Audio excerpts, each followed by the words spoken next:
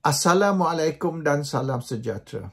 Ada tiga perkara saya nak sentuh hari ini. Yang pertama, Rosli Dahlan, Peguam Muhyiddin Yassin, bukan saja telah menafi tuduhan Mazlan Ali, tapi telah menyuruh Mazlan tarik balik tuduhan itu dan minta maaf. Semalam, Mazlan Ali telah berkata, Rosli telah ditangkap oleh kerana mencuri 7 bilion duit 1 MDB.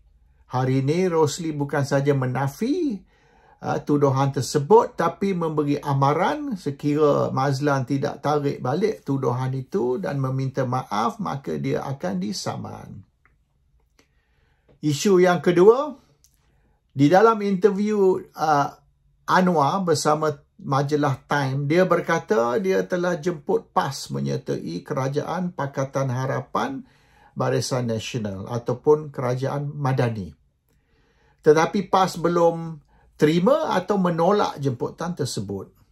Walau bagaimanapun, kata Anwar, sebelum PAS boleh diterima di dalam Kerajaan Pakatan Harapan Barisan Nasional, PAS kena setuju dengan syarat dan syaratnya PAS kena berkelakuan adil kepada semua agama dan tidak menindas ataupun berkelakuan diskriminasi terhadap mereka dari agama lain.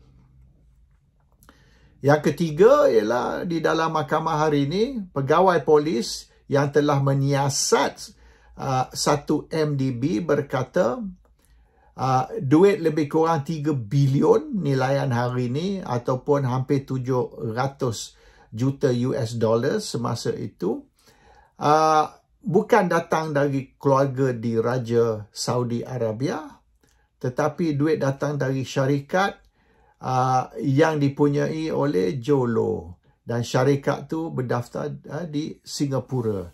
So bermaknanya uh, dakwaan bahawasanya uh, keluarga diraja Saudi yang memberi jumlah uh, 3 bilion tersebut uh, tak betul. Dan duit tu yang sebenar datang dari satu MDB dan mengikut uh, pegawai polis tersebut yang memberi testimoni hari ini dia telah menyiasat dia punya flow dan sah duit tu dari satu MDB pergi ke syarikat tersebut dan dikembalikan ke Najib. Jumlah dia matching lah. Jumlah dia boleh dikatakan sama. So nampaknya kes Najib ni not so good lah.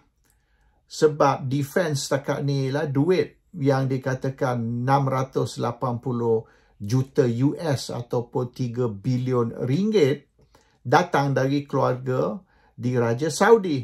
Tapi pegawai polis yang menyiasat hari ini kata bukan.